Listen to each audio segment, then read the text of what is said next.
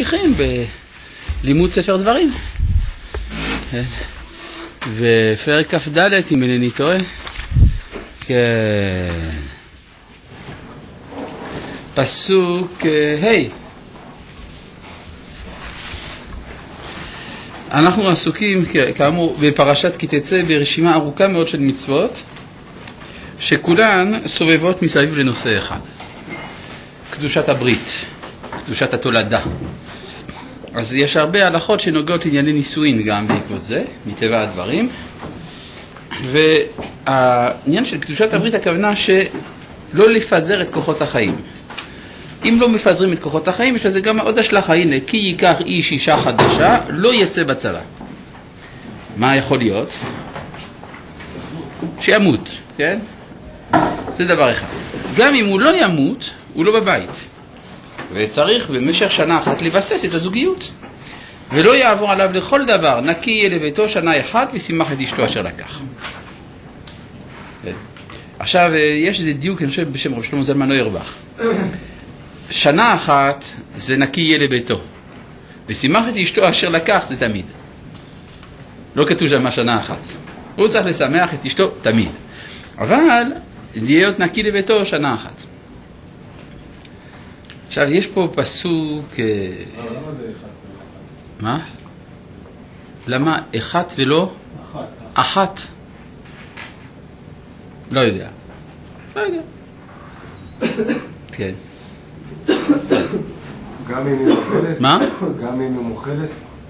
האישה מוכלת? אם האישה מוכלת. כן, זה מועיל, אבל אה, לכתחילה לא מצפים ממנה למחול. כלומר, תמיד יש איזה... אה, אתה מבין, אשתי מוכלת. מי אמר שזה בסדר שהיא מוכלת? זה כמו שאני אגיד לך, יש הרבה, אה, מה שנקרא, תנועות טבעיות שאפשר להתגבר עליהן, אבל זה לא בטוח שזה טוב להתגבר עליהן. למשל, אדם שזה עונג לו להתענות בשבת, מותר לו להתענות בשבת, נכון? האם זה טוב? לא, לא, לא, לא דיברתי על תענית חלום. דיברתי על משהו אחר. אדם שלא אוהב לאכול. הוא ממש לא אוהב לאכול, הוא מרגיש יותר טוב אם הוא מתענה. מותר לו להתענות בשבת? התשובה היא כן. האם זה טוב שאדם יפתח נטייה כזאת? לא. לא. יותר טוב שהאדם יתרגל להתענג מן המאכל מאשר להתענג מהתענית. בסדר? עכשיו... אתה מדבר על שהיא לא מחלה בלב שלם, אז לא אמרנו כלום. לא, אני אומר, אבל גם מחילה בלב שלם היא לא תמיד טובה. כלומר, למשל, אדם אומר, אה, אני יודע, אה, אני בא לאכול אצלך, אבל אה, אני רוצה, אה, כשאני מגיע אליך הביתה, אני אפריש תרומות ומעשרות ממה שאתה הכנת. זה פגיעה. זו פגיעה. עכשיו נגיד שאני, אני, אני מוכל, אני המזמין ומוכל. בסדר או לא? לא. זה בסדר שאני מוכל, מותר לי למחול. הצד השני לא בסדר. כן, אבל זה לא טוב לפתח כיוונים כאלה. מדוע? בגלל שהרבה מאוד הלכות נבנו על יסוד ההתנהגות הנורמטיבית של בני אדם. ואם ההתנהגות הנורמטיבית הזאת הולכת לאיבוד, אז, אה, אז גם ההלכות שנבנו על יסוד הדברים האלה מאבדות את משמעותן. דוגמה, מדוע חכמים גזרו על בישול נוכרים? חתנות. כדי שלא יהיה לי נעים, כן? שום חתנות. מה, איך, זה, איך זה מטפל את בעיית החתנות? לא יהיה לי נעים. כן? כלומר, אה, אף פעם, ת, תמיד זה יהיה בעיה לאכול ביחד, וככה אנחנו נתרחק אחד מהשני. לא שבאופן מוחלט אי אפשר לאכול עם גוי, אבל זה תמיד יהיה בעיה. אבל אם אני אומר, האם אני מתרגל לזה שאי נעימות זה דבר שמוחלים עליו, אז כבר כל ההלכה הזאת מאבדת את ערכה. ברור. טוב, בואו נמשיך. פסוק ו' אגב, כל ההלכה הזאת נאמרה כידוע במלחמת הרשות ולא במלחמת מצווה. במלחמת מצווה אפילו חתן יוצא מחדרו וכלה מחופתה. מה פירוש הדבר חתן יוצא מחדרו? לאן הוא יוצא? למלחמה. ואישה וכלה מחופתה, לאן היא יוצאת? להרוס שלי. לכאורה, בפשטות גם היא יוצאת למלחמה. כן, כלומר, אה, פשט דברי הרמב"ם, פשט הגמרא בעצם, שהיא יוצאת מחופתה להילחם. הרדב"ז הוא זה שחידש שמאחר ואין דרכה של אישה לעשות מלחמה, אז הכוונה שהיא הולכת לעבודות עורף. כן? יש כאלה שאמרו שבכלל לא. כיוון שהוא יוצא מחדרו, אז מטבע הדברים היא יוצאת מחופתה. אין לה ברירה, מה היא תישאר בחופה, מה יש לה לעשות שם? אה? אשת חי, אשת חיל. אשת חי, זה הקישור בין חיל לאישה, לא יודע. אה, כי אתה מבין שחיל זה צבא. יש משהו בזה קצת. לא, חיל זה לא צבא. חיל זה הכוונה הצלחה. הצלחה, כן? איש חיל, הכוונה אדם מצליח. זה המשמעות של הביטוי. כן. אה, אה, מה? אני עכשיו לא דן בהלכה, כן? מבחינת ההלכה, האם אישה יכולה ללכת לצבא או לא, זו שאלה אחרת. כן, בפשטות לא, היא לא יכולה. מדוע? מה הסיבה הראשונה שאישה לא יכולה ללכת לצבא? שהרבנות הראשית אמרה שלא. אחר כך אפשר לדון. האם הפסק הזה הוא נכון, לא נכון. הרבנות הראשית אמרה שלא, לא. צריך שמישהו פעם יקנה את קנאתה של הרבנות הראשית. אם היא לא עצמה עושה את זה, לפחות שמישהו יעשה את זה. טוב. לא יחבול, עכשיו פסוק ו' הוא באמת פסוק משונה מאוד. לא יחבול רחיים ורחב, כי נפש הוא חובל. מה זה תקוע פה בכלל? קודם כל, מה זה לא יחבול רחיים? מה זה לחבול? לא, לחבול הכוונה לקחת משכון. משכון. כלומר, כשאדם מלווה כסף לחברו, הוא לוקח ממנו משכון, כן? הלוויתי לך, אני יודע, אה, אה, אלף, אלף שקלים, אני רוצה להיות בטוח שתחזיר, בינתיים אני לוקח ממך איזה חפץ מהבית. אה? זה נקרא משכון. כן. עכשיו, מה אומר הכתוב? לא יחבול רחיים ורחב. מה זה רחיים ורחב? זה שני המרכיבים של אבן הרחיים והחלק התחתון, כי נפש, אז זה אני לא יכול לקחת. למה? כי אם אני לוקח מזה, הוא גם לא יכול לעשות לחם. אז מכאן ההלכה כללית שלא לוקחים כמשכון דבר שעושים בו אוכל נפש. כלומר, דבר שממנו לוקחים, אה, עושים את המזון, לא. אז אני לא יכול לקחת לא, לא את המיקסר ולא את הסירים ולא את הקיריים, זה אני לא יכול. כן, אבל אני יכול לקחת תכשיטים או דברים כאלה, בסדר? מחרשה גם אתה יכול. מחרשה אני יכול, כן. אם כי באמת. באמת היום יש כללים בהוצאה לפועל שלא לוקחים, למשל כלי עבודה, כן, או מכונות שמייצרות. אז גם זה- המיטה שלו, לא המיטה. לא כן. בקיצור, עכשיו מה שאני רוצה להבין, כל ההלכה הזאת היא הלכה יפה, נחמדה, מה שאתם רוצים, אבל מה זה תקוע פה? מה זה עושה פה בכלל? מה זה הכל פה תקוע? אבל אנחנו כל פעם שאנחנו לומדים את הדברים התקועים, אנחנו, מסב... אנחנו מוציאים את זה מהתקיעות, אנחנו רוצים להבין למה זה ככה, נכון? מה? זה גם מחוץ לפרשה סתומה ופתוחה, זה מחובר. זה אפילו, כן, זה אפילו בלי, בלי הפסק של פרשה, כן? זה פסוק אחרי פסוק מיד, כן? ומותר לקחת לו את השור או החמור שלו, אם יש לו רק אחד, כן, מותר. לקחת שור או חמור הוא מותר. יכול לעבוד גם כן. כן, הוא לא יכול לעשות מזון. זה מה שעושים באוכל נפש. טוב, אבל אני שוב, שוב חוזר על השאלה שמעסיקה אותי, למה זה תקוע פה? למה, מה, מה זה עושה פה בכלל? כן? מה? אה? מה. הקשר של זה לעברית? אז זה באופן ציורי יש קשר, כן? רחיים ורחב זה, זה כינוי לאישות. כן? זה הכוונה. יש חלק שרוכבים עליו, חלק שחודר, אז זה באופן, הייתי אומר, ציורי, אסוציאטיבי, זה קשור. כן? כלומר, על ידי שהוא יצא לצבא, אז הוא יחבול רחיים ורחב, לא תהיה אישות. זה הכוונה. אבל זה על דרך האסוציאציה, לא על דרך הפשט. כן, הרבי אברהם בן עזרא אומר שהוא לא מקבל את הפירוש הזה. אבל זה שהוא לא מקבל, זה לא אומר שהוא לא נכון מבחינה תת-מודעת. בתת-מודע זה כן נמצא. טוב. אז... כן. עכשיו, יש גם קשר בין מזון לבין ברית. יש קשר בין הדברים, ולמשל כתוב לגבי יוסף, שפוטיפר, אז אה, נתן לו הכל בידו, חוץ מהלחם אשר הוא אוכל. ואחר כך, כשיוסף מדבר עם אשת פוטיפר, הוא אומר לה, הוא נתן לי את הכל כי אם אותך, באשר את אשתו. אז זה סימן שהלחם אשר הוא אוכל, זה כינוי לאישות. כן, זה הכוונה. אז גם פה, הלחם אשר הוא אוכל, אז או נגיד את זה במילים אחרות, זה כוחות החיים. כוחות החיים לא יכולים להתמעט. אז לכן אם אמרו, נקי לביתו שנה אחת ושימח את אשתו אשר לקח, אז גם ממילא לא יחבול חיים ורחב, כי נפש הוא חובל. אני אומר מקור פרנסה. לעשותו. נכון. אמת. כי יימצא איש, עכשיו אנחנו מתוך כך מגיעים ל, אה, לאובדן חיים עוד יותר גדול.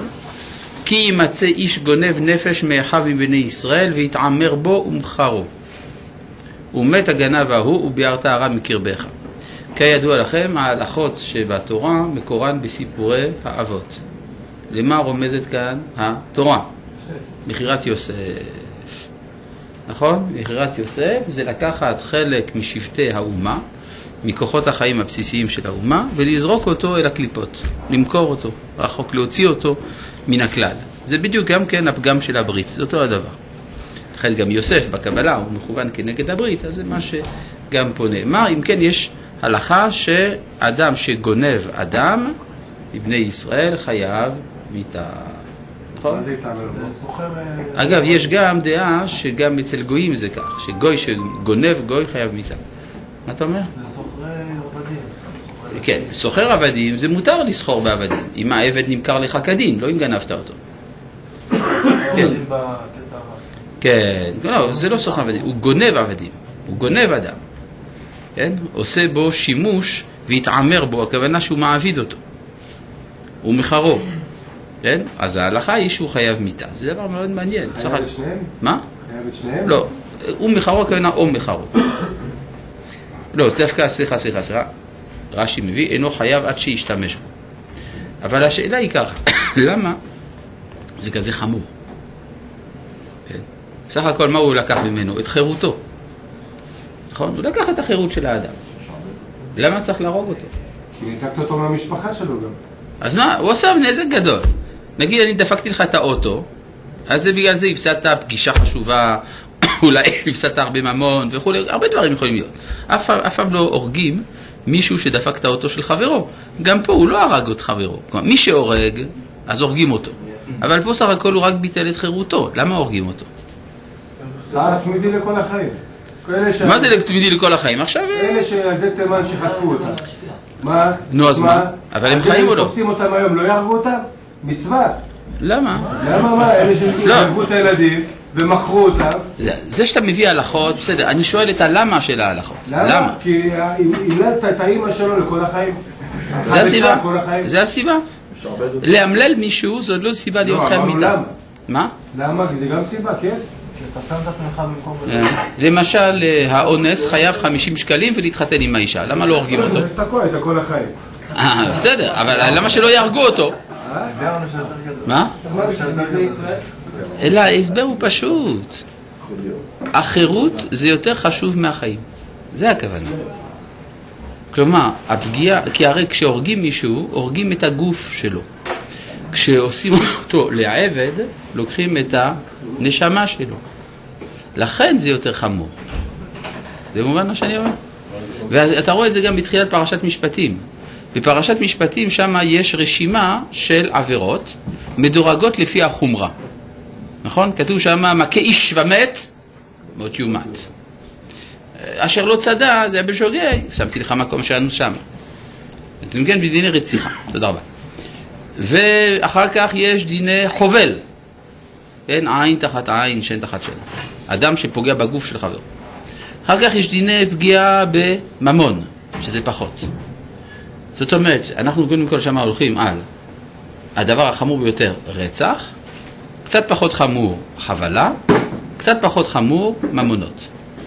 ולפני הלכות רציחה, כי תקנה עבד עברי ששנים יעבוד ובשביעית יצא לחופשי חינם. כלומר, שמו את אובדן החירות במדרגה ראשונה לפני אובדן החיים. מובן? אז זו עמדה של התורה כזאת, שהחירות היא מהות האדם. אם אתה לוקח מן האדם את החירות, בעצם לקחת משהו שהוא יותר יקר מחייו. לכן גם מה שכתוב בעשרת הדיברות, לא תגנוב. על מה זה נאמר? על לא תגנוב נפש. כן, הרי פה כתוב העונש, פה בפרשה. איפה כתוב האיסור? האיסור זה בלא תגנוב. בסדר? מה אתה אומר? זה עבירה למעסיק שתהיה בבעלותו עבד עברי? האם זה עבירה למעסיק שיהיה בבעלותו עבד עברי? לא, אין, איסור כזה. אין איסור כזה. מותר להחזיק עבד עברי. מה? עבד עברי, מתי הוא, מה- סליחה, אני רוצה להבין את הנקודה, מתי הוא חופשי, אחרי כמה שנות עבודה הוא חופשי? שש שנים וזהו, או חמישים? אתה שואל, אחרי כמה שנים אה, עבד עברי משתחרר.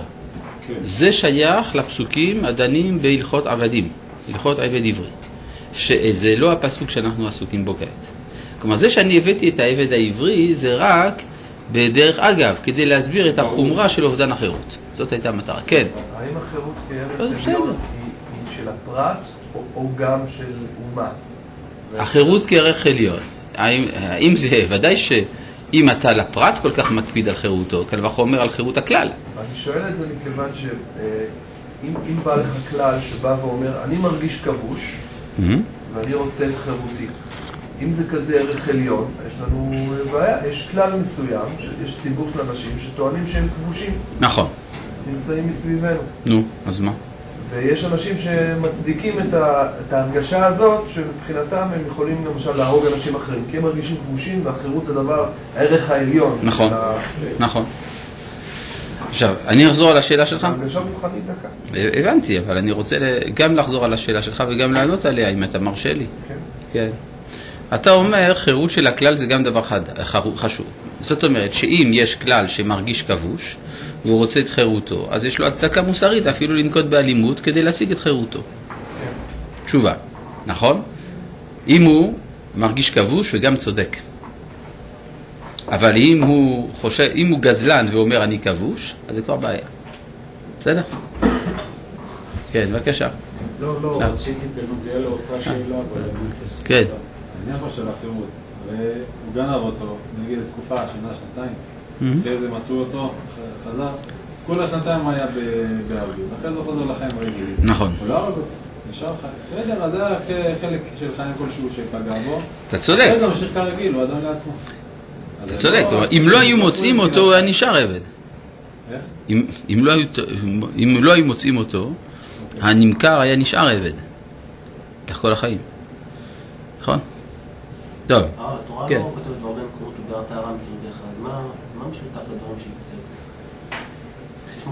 למה התורה כותבת וביארת הרע מקרבך? כן, יש, אה, יש אה, שתי סיבות שונות לכך שחייב מיתה נהרג. הסיבה האחת היא מצד ההרתעה. צריך להרתיע. ויש סיבה נוספת שהרע הוא רע. ברור? אז זה- שאומר הוא מת הגנב ההוא, זה ההרתעה. אבל גם אם לא היה צד ההרתעה, יש להם מצד שהרע הוא רע. לכן וביארת הרע מקרבך. כן, לפי זה האחים של יוסף היו חייבים מיתה. לפי זה אחרי יוסף היו חייבים מיתה אולי. כן? מדרש אלה אזכרה, מפורסם, עשרה הרוגי מלכות. כן, לא, זה היה בסדר מדרש, אבל תכלס, לפי הפשט פה, הם היו חייבים מיתה. האם אחרי יוסף היו חייבים מיתה? אה, אולי. זה תלוי איך אתה מסתכל על זה. כי הם ראו את עצמם כדיינים, שיתפו את השכינה, כדיין. אז אם זה דיינים, זה משהו אחר. דיין לא חייב מיתה על זה שהוא פוגע באדם. כן. כן. אה, מה שאמרת לגבי אה, קל וחומר של העם. עם השירות של פרט, שירות של פרט אה, מוגן עלינו בפסוקים. לגבי של ציבור, אנחנו יודעים שאנחנו כביכול לפי הכתובים מחכים לקדוש ברוך הוא, לגואל, למשה, מישהו שלא יבוא. אז השאלה היא... אני לא יודע, אתה רוצה להגיד שלציבור אין חירות בגלל שתמיד יש עליו ממשלה? לא, אני אומר לא. אני אומר שאם אנחנו נגיד אה, תחת אה, עם אחר, אה, אה, איפה אנחנו מוצאים אה, שאנחנו צריכים להילחם בעד חירות אה, העממי שלנו, אה, כאילו אני לא מכיר את המקום. עוד לא הבנתי את השאלה. איפה מצאנו שאנחנו צריכים לשאוף לחירות לאומית? כן. זה כיבוש, מצוות כיבוש ארץ ישראל. כן, זה כשיש לנו מנהיג, כשקדוש ברוך הוא... אז השאלה היא, מהם התנאים שבהם אנחנו יכולים לממש את השאיפה הזאת?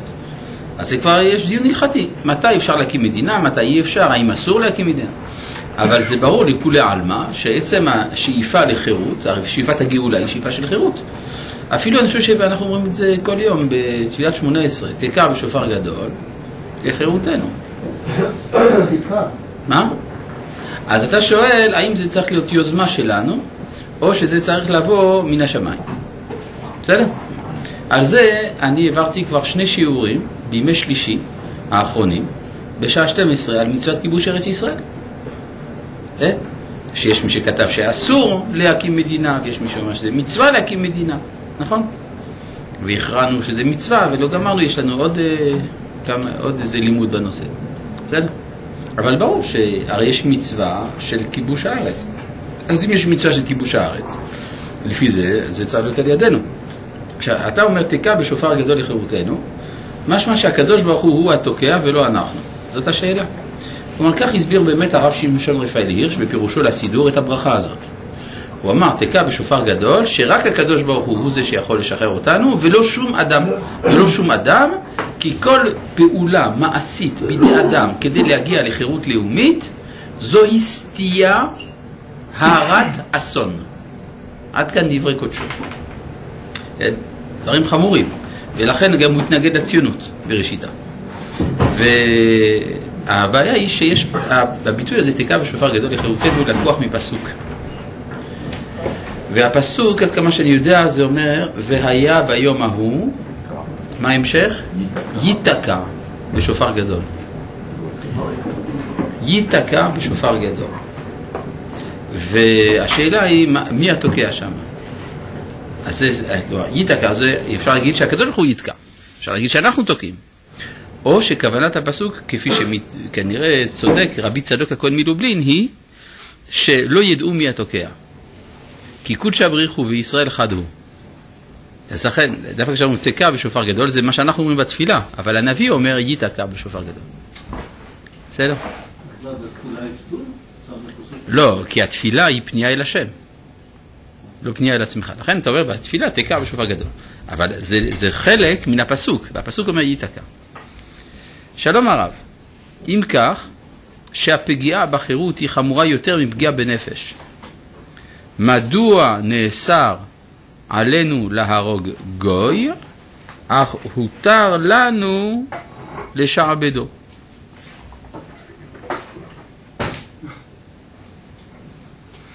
אני לא חושב שזה נכון. כלומר, לפעמים אסור להרוג גוי וגם אסור לשעבדו, ולפעמים מותר להרוג גוי וגם מותר לשעבדו. זה לא חתוך לגמרי ככה. זה הכל תלוי במצב. כלומר, שעבוד למשל זה במלחמה, אתה לא סתם משעבד אנשים. במלחמה, מלחמה זה משהו אחר. יש סיבות למלחמה, כן? לא יוצאים סתם למלחמה נגד מישהו. כן. אדם גנב, יהודי גנב יהודי, מכר אותו. כן. חתן תינוק. לא התעמר בו. מה עושים לו? אדם גנב יהודי ולא התעמר בו. כן. לא חייב מיתה. לא חייב מיתה. כן. לא עבר על זה? לפי זה לא, לא- לא התעמר בו. רש"י כותב לך, אינו חייב עד שישתמש בו. נו, אז מה עושים בו? מה עושים איתו? מה עושים איתו? מענישים אותו. אחרי 30 שנה, מה מה עושים איתו? עונשים, יש תמיד עונשים. כלומר, בית דין יכול להטיל כל מיני עונשים. כשאומרים לך שחייב מיתה, זה חייב מיתה באופן, זה המקסימום. בסדר. עכשיו, פחות מזה, זה מדורג. התורה השאירה את זה בידי הדיינים. גם כתוב כאן, כי יימצא, תסתכל מה אומר רש"י, בעדים והתראה. אז לא- אם לא היו עדים והתראה למכירה הזאת, אז הקדוש ברוך הוא יפרע ממנו. בסדר, אז אני אומר שאנחנו כן דואגים לתיקון העולם באופן מדורג. מה? לפי זה, לפי, הזה, כאילו בסדר, אנחנו מחפשים מה ההיגיון של התורה שאמרה, מה בגלל שלא נתנו לעבוד, לעבוד בצוריה, אז הוא, לא עשה לו כלום? כי זה יותר חמור, כלומר אנחנו מחפשים איפה אובדן החירות באופן מוחלט. זה האחרון כי על זה שיש... הוא ילד קטן, ומכרו אותו, ולא מצא את הזהות שלו. נו. אז זה לא זה באמת חמור מאוד לגנוב ילד קטן ושהוא לא מוצא את הזהות שלו, זה נכון. השאלה היא מתי התורה מחייבת מיתה. חיוב מיתה זה במקרים קיצוניים ביותר, נכון? מה, זה שעבד טיפה, זה הופך אותו לקיצוני?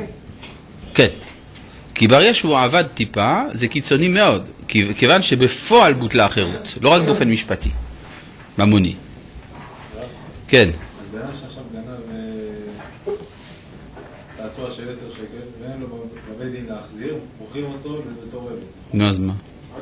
אז הוא חייב מיתה בגלל שהוא גנב פצצה של 10 שקל? היום מוכר אותה בית דין, נו. הוא נהיה עבד, לוקחים לו את החירות, כאילו עובד פה. בעצם גזרת עליו... אבל זה בית דין. רגע, אני לא מבין. זה שבית דין, אני לא מבין אותך. זה שבית דין לפעמים גם הורג אנשים. בפועל. אז הבית דין הוא- רוצח? לא, אבל מתי הורגים שזה פרופורציונלי? יש לך... אז אתה שואל על דין מכירת עבד עברי, מה הפרופורציונליות וכולי. בסדר. גרוע. אז אתה שואל על דיני עבד עברי. אבל זה לא הנושא שלנו בכלל.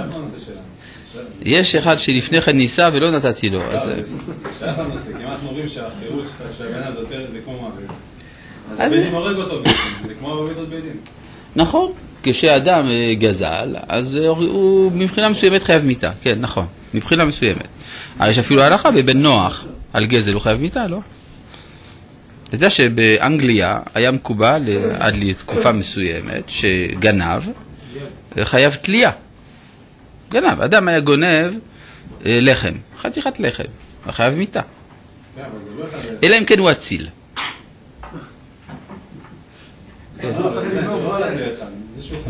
מה?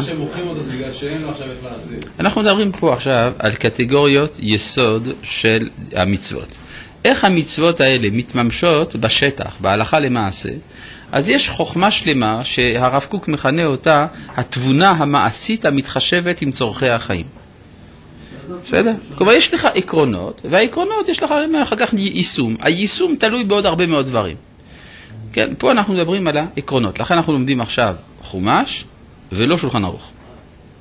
בסדר? כן.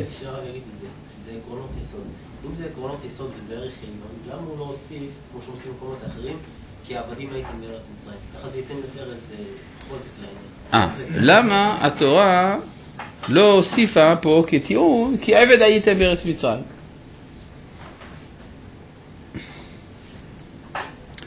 אה, אה, לא יודע. טוב. זה יכול להיות תלוי במחלוקת בין הרמב"ם לבין הרמב"ן, אם העבדות במצרים הייתה חוקית או לא חוקית. כן. טוב. פסוק ח' כן. אה, יש פה שאלה, וואו. אה, שלום הרב, אם כך שהפגיעה בחירות היא חמורה יותר מפגיעה ב... אה לא, זה כבר... שלום הרב, לעניות דעתי, יתקן את דברי, דבריי הרב אם אני טועה.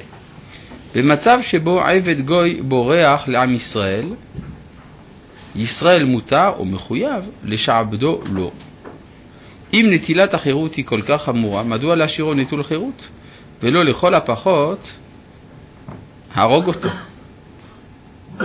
טוב, אני לא חושב שאתה צודק. ההלכה היא שאם עבד גוי בורח אל עם ישראל, אז לא משעבדים אותו. כתוב, עמך ישב בקרבך, בטוב לו, לא תוננו. אסור לשעבדו. טוב. אה, אישה, לכן תיקנתי את דבריך כפי שביקשת. אלא אם כן תראי לי מקור מפורש שאומר ההפך מה שאני אומר.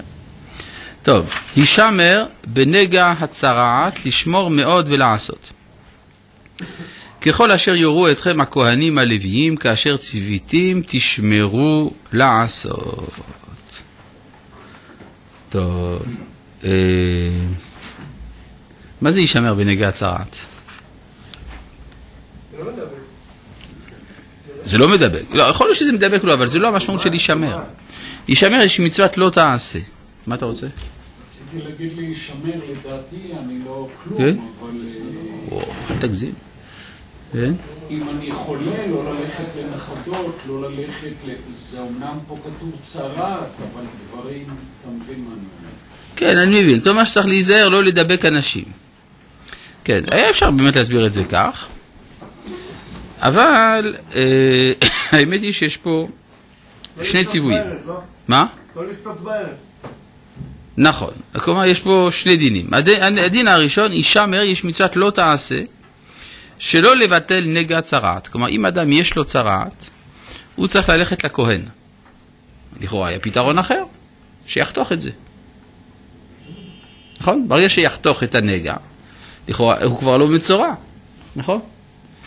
אז, אה, אז לכן התורה באה להוסיף איסור לא תעשה. אדם שיש לו נגע צרעת, אסור לו לקצוץ, הוא צריך ללכת לכהן, והוא יורה לו מה לעשות. עכשיו, מה, מה הסיבה של הדבר הזה? כי זה שיש לאדם צרעת, זה לא מקרי. יש איזו סיבה מוסרית. אם יש סיבה מוסרית, אז צריך לטפל בבעיה המוסרית. אם אתה קוצץ, אתה עוקף את הבעיה. כן, זה כמו שלמשל מצאנו בתחום אחר לגמרי, שפעם לא ירדו גשמים בימי חוני המעגל.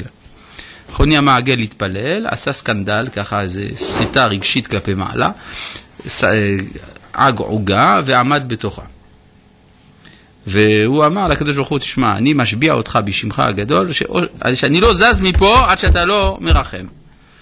טוב, אז uh, ירדו כמה טיפות. הוא אומר, זה לא מה שביקשתי, ביקשתי הרבה. טוב, בסדר, ירדו גשמי זעף. הוא אומר, ביקשתי גשמי ברכה. טוב, בסוף ירדו גשמי ברכה.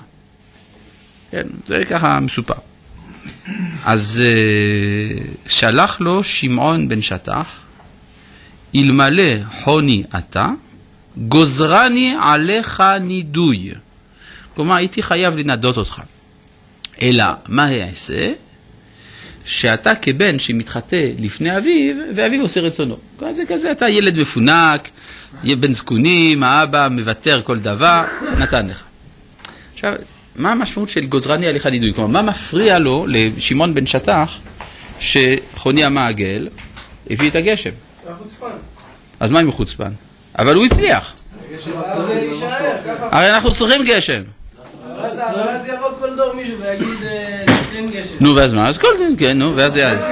אז מה? אין תיקון מוסרי של הסיבה שבעטייה הגשם. יפה. הרי זה לא סתם שלא ירד גשם.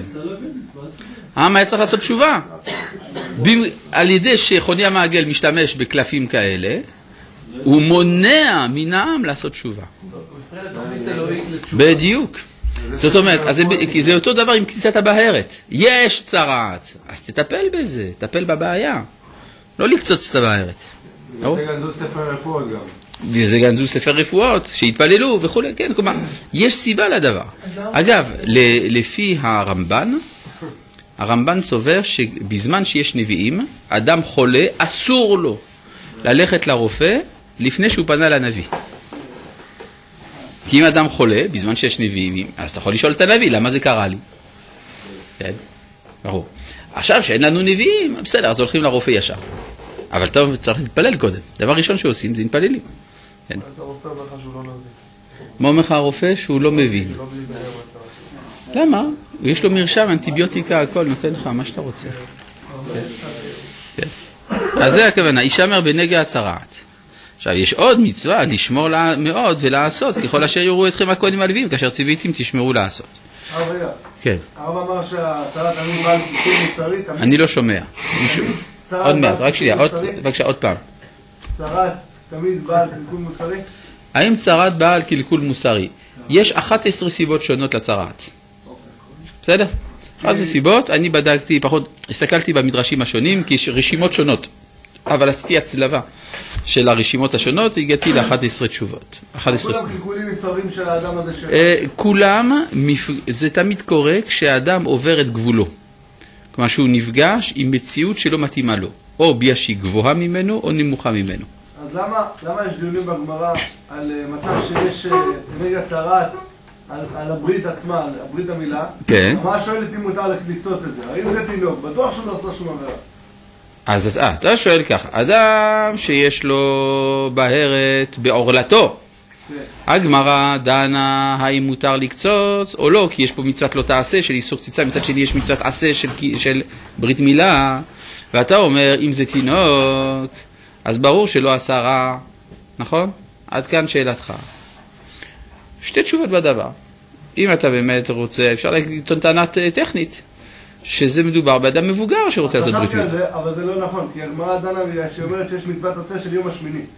אז משמע שזה תינוק. אה, אז משמע שזה תינוק. כן. אז אלא מה? אלא מה? לא, אבל הוא שואל, איך, איזה פגם מוסרי יש לתינוק החמודי הזה? אבותיו, אבותיו. זהו, זה התשובה. זה לא מה שאמרת. שאלתי אבות- אותך, אמרת לי רק גם של האדם הזה, לא? מה האדם צריך לכתוב? במה? יש, לא, כשלאדם, לא לא, לא, לא, לא, כשיש ל- ל- לאדם ילדים קטנים, אז הם חוטפים בגלל עוונות אבותיהם, נכון? זה אומר שבצרה אני מאוד שזה עונשו של זה.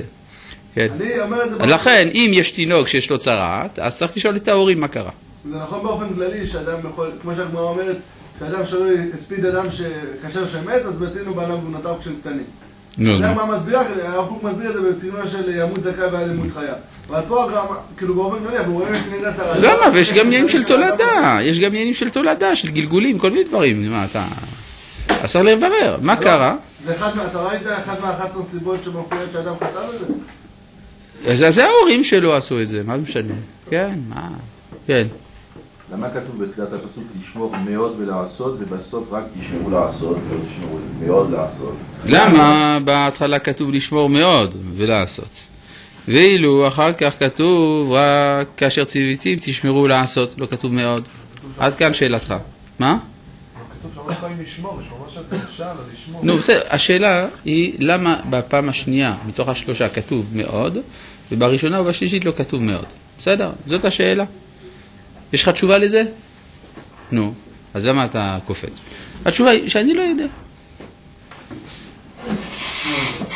אולי אתה מרגיש שבזבזת את הזמן שבאת לשיעור, אחד שלא יודע, מה אני אעשה? טוב, שלום הרב, וכן אסור לאדם לשחרר עבד כנעני, וכל המשחררו עובר בעשה, שנאמר בהם לעולם תעבודו. ואם שחררו משוחרר כמו שביארנו, משנה תורה הלכות עבדים ט'. אתה ציטטת לא נכון, כי אתה ציטטת בהם לעולם תעבודו, ודווקא הפסוק זה לעולם בהם תעבודו. נו, אז מה זה קשור לעניין? אבל פה דיברת לפני כן על עבד שבורח אלינו. ברגע שעבד של גוי בורח אלינו, הוא הופך אוטומטית לבן חורין. זה הכוונה. משהו אחר לגמרי, הקשר בכלל. כן. אמ, אז זהו, אז למה כתוב מאוד? לא יודע. גם מה שאמרתי על סיבות הצרעת, זה למשל, אנחנו, כשזה אדם נפגש עם מציאות שהיא גבוהה ממנו, או שלא מתאימה לו. למשל, עוזיהו מלך יהודה, היה מלך. הוא רצה להיות כהן גדול. לכן לקח קטורת ונכנס לפני ולפנים, לתוך קודש הקודשים, כדי להקטיר, כמו כהן גדול ביום הכיפורים. ואמרו לו הכהנים, רגע, רגע, זה אתה מלך, אתה לא כהן, לא אכפת לו, נכנס, נצטרע. קיבל צרעת. כהן גדול שנכנס, לא מצטרע. כי ברגע שאתה נפגש עם משהו שלא מתאים לך, יש צרעת. דוגמה. כן. ולשון הרע איך זה כאילו, למה זה לא? לשון הרע, כן, האדם משתמש במה שקושר אותו אל חברו, דהיינו הדיבור, לא באופן הרצוי. כן? אז לכן יש פגיעה בצד החיצוני שלו, במגע החברתי שלו, שזה העור. העור זה הגבול שלי. לא. לא, לא, זה לא ככה. כי הדיבור הוא הקשר בין אדם לאדם. ברור? לא רק. מה? כלי הדיבור הוא משמש הרבה דברים. כן, אבל למה... לאלוהיו. לא משנה, זה בין אדם לחברו. חברו זה גם הקדוש ברוך הוא. רש"י מפורש, מסכת שבת, רעך ורע אביך אל תעזוב. אז ואהבת לרעך זה הקדוש ברוך הוא. כן? זאת אומרת, אה, אגב, גם למשל, אה, במשה רבנו, כן? והם לא יאמינו לי, ואז נצטרע. כן, טוב, יש פה בעיה בביטוי ואין לא יאמינו לי. כי צריך להאמין במי? בקדוש ברוך הוא במשה? לא צריך להזמין, מה? הוא אומר לא יאמינו לי. זה לא מכוחו שצריך להאמין בו. כלומר, זה, זה נוטה לעבודה זרה. כן? לכן נסתרה. כן. יש, אה, טוב, יש על זה מה, מה להעריך, אבל טוב, בהזדמנות. מה? כן. כן, כן, כן, כן. למשל, אולי נזכיר משהו, יש ב...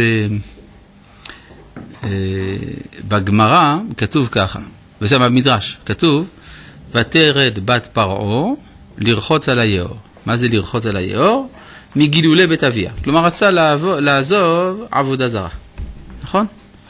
יפה מאוד. עכשיו, בזוהר כתוב שהיא באה לרחוץ מצרעת.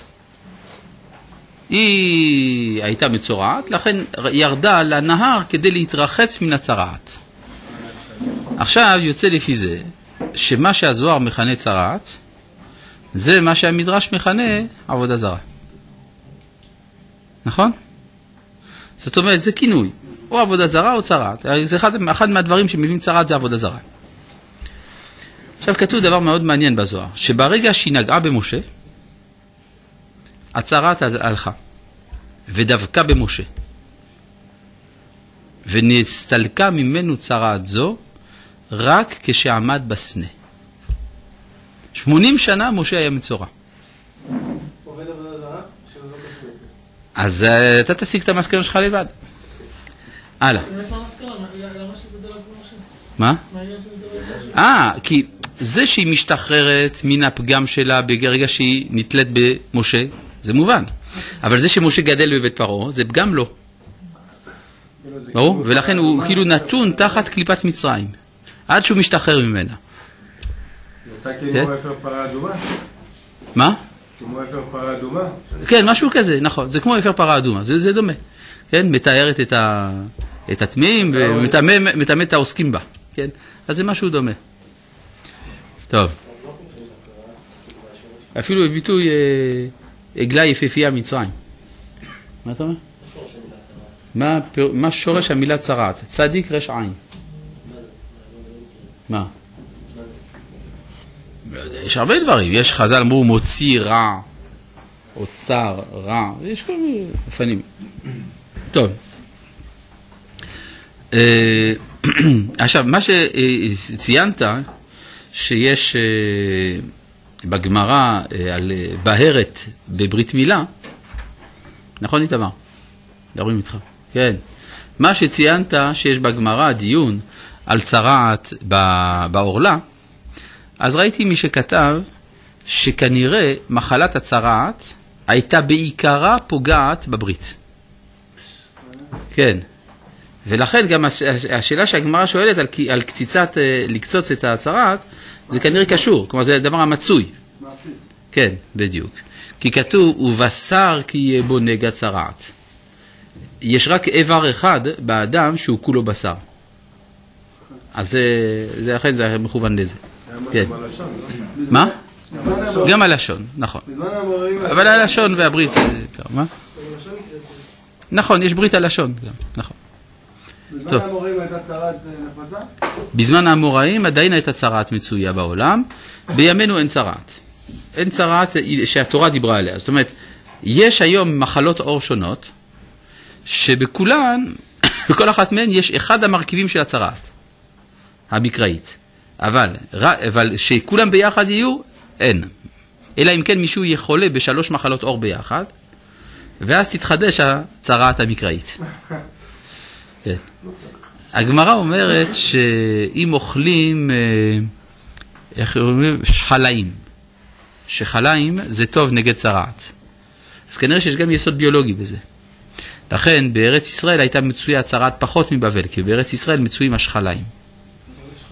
חלאים זה סוג של אה, צמח, אה, סוג של תחב, כן, שרש"י כותב בכל מקום שכתוב שחלאים, רש"י כותב קרסון ולעז. קרסון. קרסון. כן, זה סוג של צמח קטן. אני לא יודע לזהות אותו, אבל... אה, מה? הוא, הוא קצת חמוץ, נכון? הוא אומר זה חסה כזה. זה סוג של חסה? סוג של חסה. סוג של חסה. כן, עלים קטנים, זהו. אז רש"י אומר קרסום ולז. צריך לאכול הרבה כאלה כדי לא לחלות בצרעת. עכשיו, שגיליתי את הסוד, אז אפשר אולי אפילו לשווק את זה עם השגחה מיוחדת והמלצה של רבנים. רק על זה זה- ייפול. כן. עכשיו רק צריך שהצהרה תחזור, כדי שצריך לשווק. כן. טוב. אה, פסוק ט', זה כמו שמוכרים אבנים מהר סיני, אתה יודע.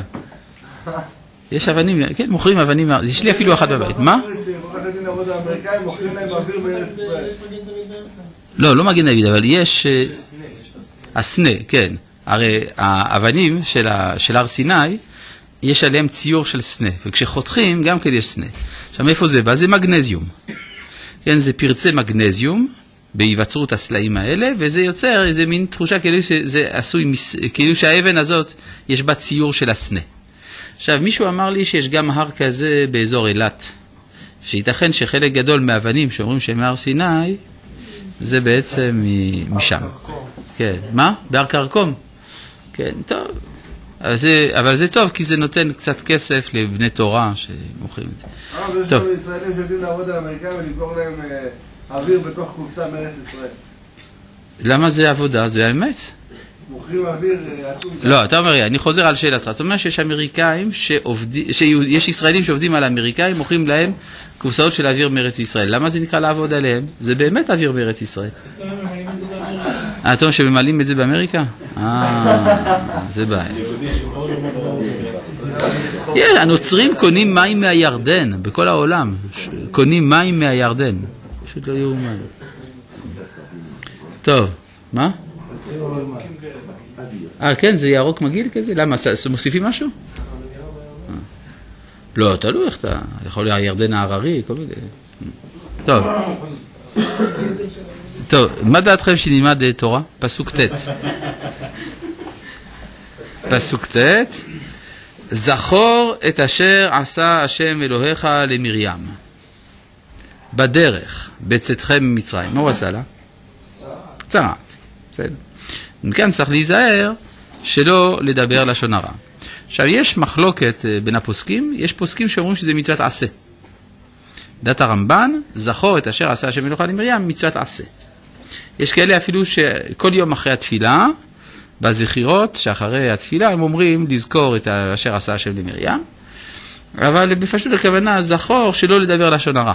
כן, שאדם שמדבר לשון הרע, הוא שכח מה שעשה השם למרים. למה, מה? לגבי עמלק, יש שאומרים שזה מצוות עשה? לא, לגבי עמלק כולם מסכימים שזה מצוות עשה. ולגבי מרים זה מחלוקת. מה, מה לא הבנתי את השאלה? או שלא הבנתי אותך. למה אותו לשון, אותו ביטוי, אחד, פעם, פעם אחת ככה, פעם אחת ככה? זה הולך ביחד. אה, למה, למה פה אומרים במצווה ופה לא? באמת תמוה בעיניי, לא יודע. טוב.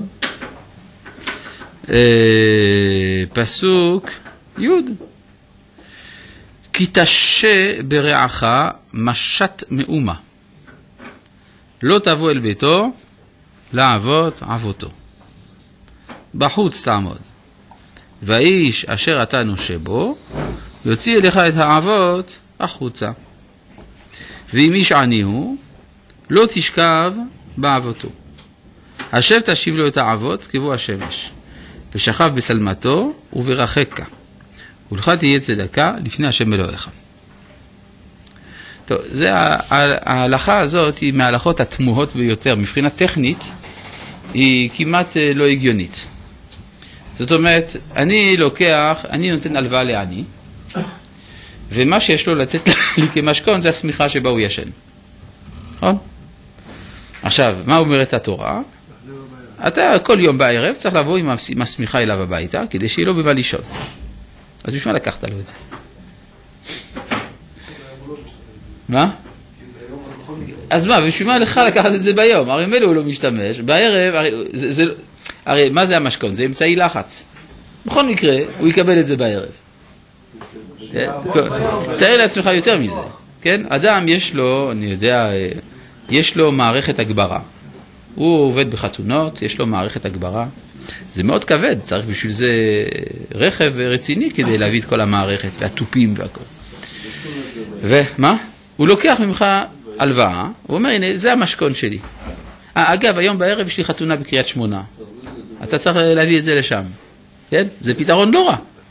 כן? אני לוקח הלוואה של 100 שקל, ועכשיו יש לי מי שכל יום מביא לי את זה. כן? מה? בערבה. לא, אבל השאלה היא למה שאדם ייקח משכון כזה? כלומר, אף אחד לא ישתגע לקחת כזה משכון. כלומר, כשהתורה אמרה תחזיר לו את האבות בלילה, זה בעצם אומר שלמעשה אתה לא תיקח את זה. זה מה שזה אומר. כלומר, באופן טכני מעשי, זה לא יקרה שאתה תיקח לו את, השמ... את השמיכה שלו כמש... כמשכון. כן. אולי זה לעודד אותו לעבוד, מעין אמירה של אתה לא תשכב בשמיכה שלך ביום, אתה חייב לקום לצאת. אה, אתה אומר ככה, שלא ישכב בשמיכה ביום, ככה, שילך לעבוד. אה, אז כאן אתה הפכת להיות מחנך. לא רק שאתה לוקח, אתה לוקח ממנו משכון, אתה גם הופך להיות מחנך. נו, כי הוא צריך להביא את הכסף בשביל להחזיר אותו. צריך לבוא- להעיר אותו בבוקר. בכל מקרה הוא צריך להחזיר לך את הכסף. הוא לא יחזיר לך את הכסף, ימכר לך לעבד, לא כדאי לך, אדרבה. אתה רוצה עבד או אתה לא רוצה? כן? יש לי מועדון. נו. ובגלל ההשכרה, השכירה נורא קשה עליי. לא כדאי לי להוציא מישהו מהבית שלו וכולי, ו... יכול להיות. אבל אני עוד לא בדיוק הבנתי את השאלה, אבל בעזרת השם אני אבין. בסדר. טוב, טוב, זכותך גם. כן. מה אתה אומר? יש פה כל כך הרבה מילים, אה, בעצם אה, שלוש פסוקים, כן, אתה אומר שהפסוק מעריך מאוד. טוב, למדו הלכות מכל דבר. כן, למשל, הירושלמי לומד מזה שלוקחים כמשכון אה, בינונית. לא עידית ולא זיבורית, אלא בינונית. כי מה דרכו של אדם להוציא? בינונית. הבבלי חושב אחרת. הבבלי אומר שמשכונו של אדם לכתחילה בעל חוב בזיבורית. שהרי כתוב, יוציא לך את האבות החוצה, מה דרכו של אדם להוציא החוצה? זיבורית. אז מחלוקת בבלי ירושלמי. זה, עידית זה הדבר המעולה, בינונית זה דבר בינוני, זיבורית זה, כן, זה דבר לא טוב, כן? כמו לאחרונה ראיתי פשקוויל, היה כתוב תחבורה זיבורית. כן. טוב, זה לא, לא, זה לא בכוונה, זה בטעות. ככה... אז יש, פה הרבה הלכות. טוב, לרב שלום. הרב אומר, אם נאכל הרבה קריסיים, אז לא תהיה לנו צרעת. הרי הצרעת מגיעה מלשון הרע. אני לא דיברתי על שנאכל הרבה קריסיים. לא, הוא שאל שאלה יפה, אמרת שבארץ ישראל היה פחות צרת, מה זה קשור בכלל? אמרתי שבארץ ישראל היה פחות צרעת, אבל לא בגלל שאכלו קריסיים. אמרת שהיה פה מצוי שכליים. שכליים. אה, אבל הוא כתב נו. כן, אז לכאורה, לא, אז פה יש בעיה. אם יש יסוד רפואי ואפשר להימנע על ידי אכילה נכונה, אז איפה היסוד המוסרי? זאת השאלה. נכון? זה השאלה שהוא שואל, שאלה נכונה. אז כנראה שיש גם וגם, נכון? כלומר, אם אדם רוצה לא להיות חולה, הוא צריך להתנהג בבריאות, נכון? לאכול כמו שצריך, לעשות התעמלות וכולי. אבל אומרים, אם אדם חולה, הוא גם צריך לעשות תשובה. נכון, מה זה לעשות תשובה? אה, פשוט, תלך לרופא, מה זה? אז כנראה שיש גם וגם. כן. מה? בהחלט. נכון. טוב, כן. פסוק י"ד. אה, לא הבנתי למה אמרת שמעשית הוא לא לוקח, מה, לא... מעשית אף אחד שמלווה כסף לא ייקח אתה לא הספיחה. התורה רוצה ללמד אותך יסודות. כן, בכלל, פה אנחנו, זה לא ספר הלכה. זה גם לא ספר של עצות מעשיות. זה עקרונות יסוד. שאתה לא יכול לפגוע באדם בצורכי החיים הבסיסיים שלו. כגון זה שהוא ישכב באבותו. אם אתה מתעקש לקחת את השמיכה, תחזיר בערב. בסדר, נראה אותך, זה מה שזה אומר. בסוף, למעשה זה לא יקרה. כן. אה, כלומר, יש פה הגבלה של מידת השלטון שהרכוש נותנת לך, נותן לך. כי הרי זה שיש לאדם רכוש, זה כוח שלטוני, זה נותן שליטה. אלא שיש הגבלה של השלטון הזה. לא באופן מוחלט, אבל קצת, משהו. כן.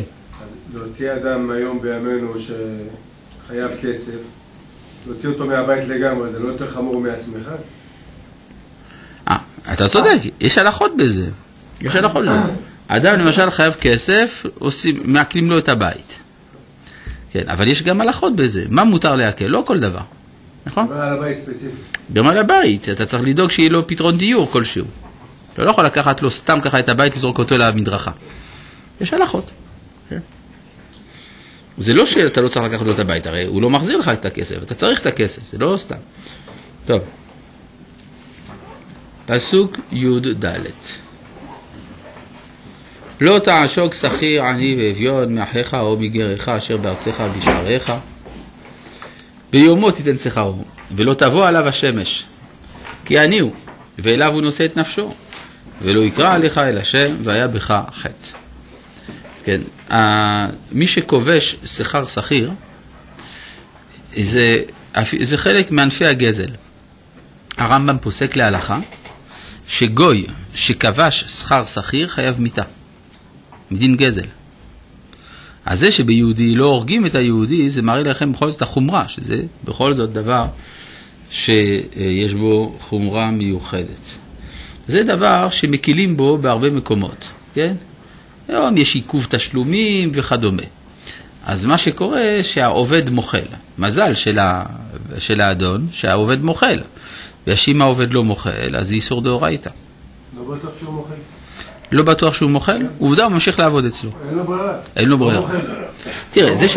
זה שאני... הוא שומע כל אלה מעוכבים שחייבים להם, הוא לא הוא בצער גדול. הוא עושה הרבה הוא לא מוחל. הוא לא מוחל, אז זה בעיה. אז אם הוא לא מוחל, זה בעיה. נכון. טוב, כן. מה ההבדל בין עני לבין אביון? לא יודע שוק שכיר. נכון.